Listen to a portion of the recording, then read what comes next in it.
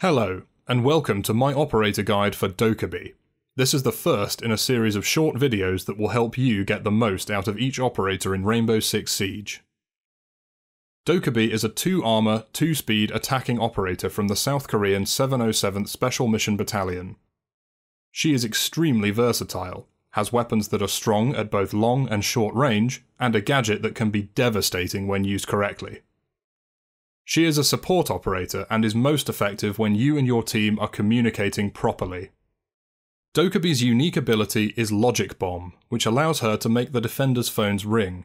They vibrate loudly so that they can be heard by attackers until the defender chooses to turn it off. This requires an animation that lasts a few seconds, and during this time, the defender cannot move or perform any other action.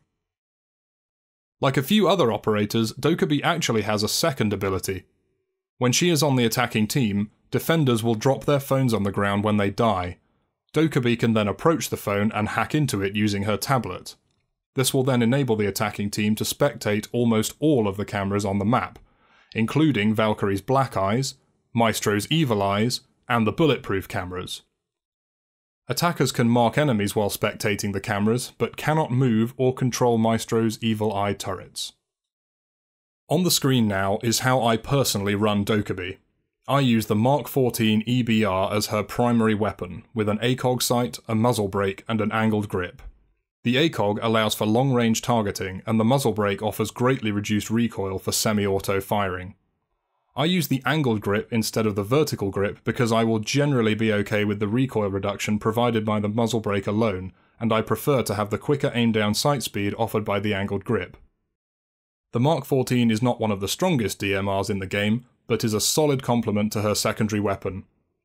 Dokkaebi's alternative primary weapon is the BOSG.12.2 shotgun. This is a single slug shotgun with two barrels and can only fire two rounds before needing to reload. This weapon is rarely used and while interesting and certainly unique, is more of a gimmick than a practical alternative to a DMR. For Dokkaebi's secondary weapon, I use the SMG-12 with a holographic sight and a vertical grip. This gun also has an integrated suppressor. At the time of recording, it is one of the best guns in the game, although it will be nerfed with the arrival of Operation Grim Sky. The SMG-12 has an extremely high rate of fire, decent damage, and a 33 round magazine, including one in the chamber. It has considerable recoil, but the rate of fire means that you are likely to get a headshot within the first few bullets.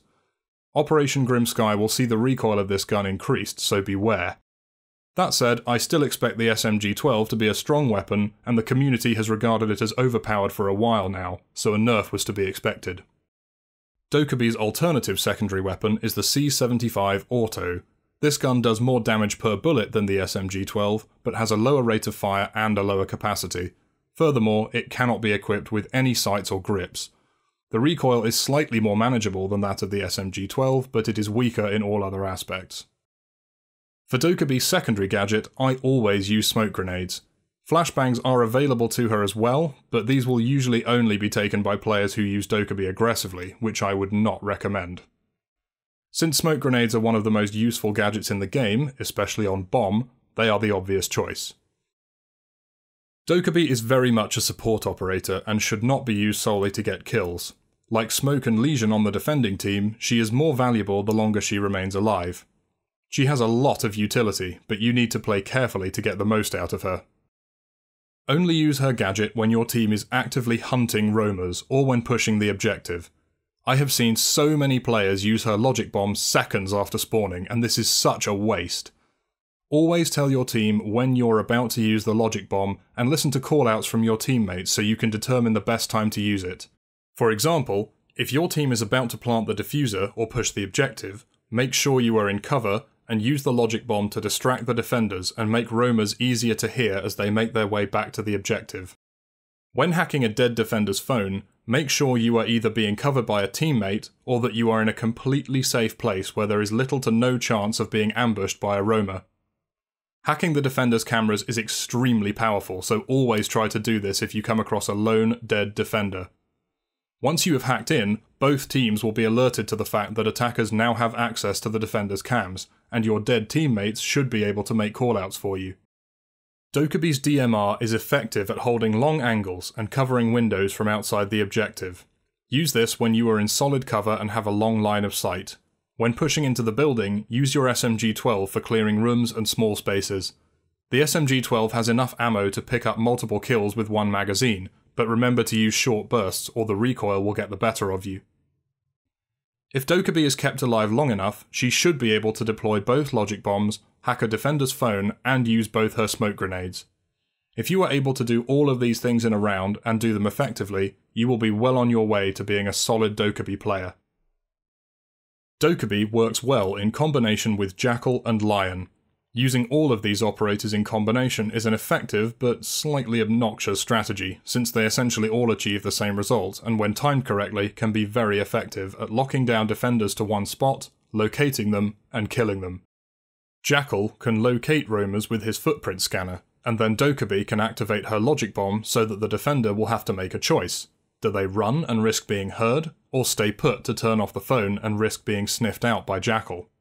Add Lion into the mix, and the defender can't move without giving their position away. Dokkaebi can be countered indirectly by Mute. If a defender is standing within range of one of Mute's signal disruptors when the call is made, their phone will not ring. Dokkaebi can be directly countered by Echo, who does not have a phone, and is the only defender who will never get the phone call. Echo's phone is built into his wrist computer that he uses to control his yokai drones, which cannot be hacked and can never be spectated by the attackers. One additional point worth mentioning is that once dropped, defenders' phones can be destroyed by explosives or Bandit's batteries. Destroying a defender's phone before it is hacked will prevent Dokkaebi from accessing it, However, once she has accessed a Defender's phone, she does not need to hack another, and the remaining phones on the map will disappear. Dokkaebi is one of my favourite operators and is very rewarding to use. She has great utility and if used effectively can almost guarantee a win for the attacking team. That concludes my operator guide and I hope you feel more confident about using Dokkaebi. Comment below and let me know which operator you would like me to cover in my next video. Make sure to leave a like and subscribe to my channel if you would like to see more. Thank you very much for watching and have a great day.